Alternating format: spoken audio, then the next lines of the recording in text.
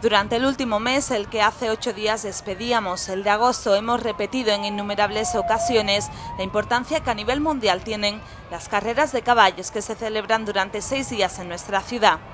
Un evento declarado de interés turístico internacional y por el que nos visitan cada año miles de personas que no quieren perder detalle de cómo los pura sangre recorren cada metro de nuestras arenas, nuestro hipódromo natural. Buen ejemplo de la repercusión de este evento es el eco del mismo que hacen los medios de comunicación internacional. Es el caso del New York Times. En su edición de ayer, martes 7 de septiembre, ese reconocido diario neoyorquino realizó un reportaje sobre nuestras carreras, nuestras costumbres y su historia.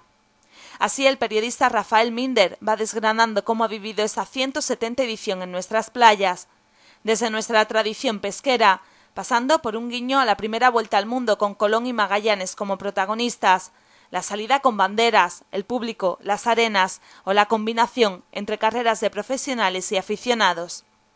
Unas carreras afirman sus líneas que se mantienen en la historia, aun teniendo en cuenta que ese año muchas de las carreras nacionales fueron suspendidas.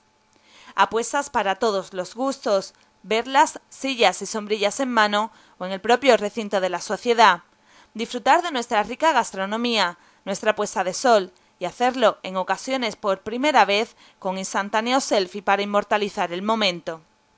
Pura sangre recorriendo nuestras playas, caballos ganadores y otros que no lo son tanto, los que montan por primera vez y descubren una experiencia maravillosa, con los espectadores dando su aliento a unos metros, una experiencia única.